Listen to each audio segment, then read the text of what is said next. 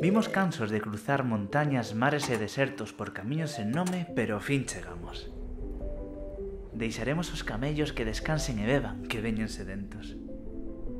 Un ano máis sentimos ise rebulir máxico ao cruzar o ponte de Viana, e van máis de 2000.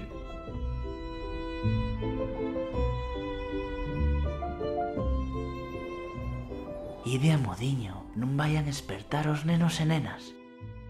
Contáronnos que nestes tempos foron un exemplo para os maiores, ensinándolles a respetar as normas e como hai que portarse nos tempos difíciles.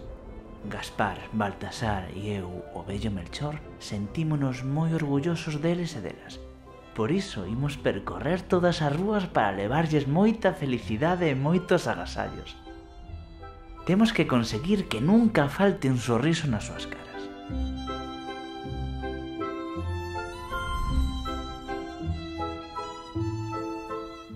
podemos esquecer as aboas e os avós que están sempre aí, ao seu carón, cuidando e dando amor.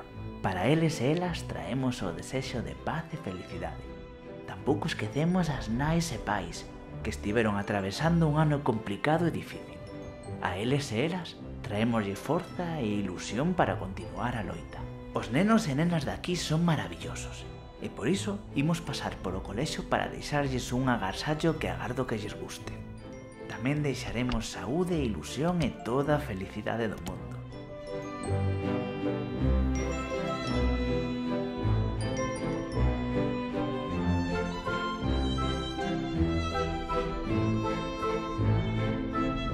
Non perdades o tempo que temos que deixar en cada casa os agasallos.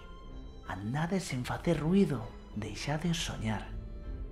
Mañá será outro día e xa non estaremos, pero Pedímosvos que gardedes un recuncho no voso corazón para ter o recordo deste Día de Reis. Nos prometemos voltar o ano que ven. Nenos, nenas, nais, pais, avós e aboas, felices reis.